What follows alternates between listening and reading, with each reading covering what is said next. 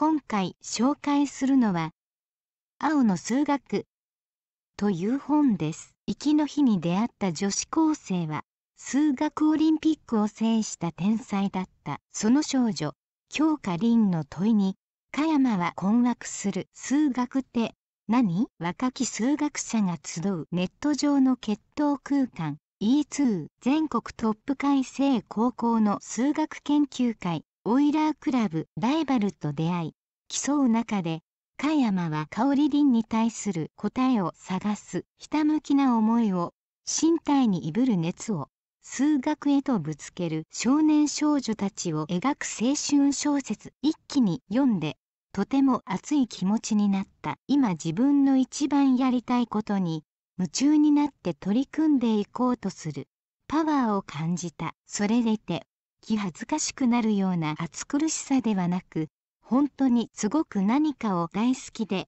必死に取り組んで時に揺れたり悩んだり壁を感じて自分の才能は？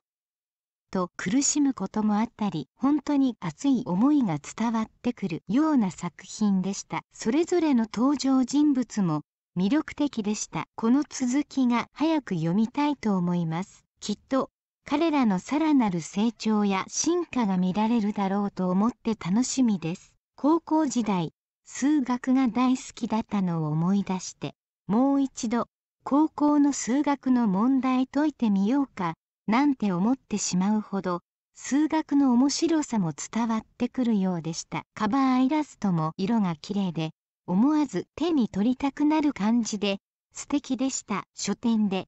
一目で目に入りました。数学とはっきり書いてあるタイトルも好印象でした。以上。興味のある方は実際の商品を Amazon などでご確認ください。今回は最後までお付き合いありがとうございました。よかったらチャンネル登録をお願いいたします。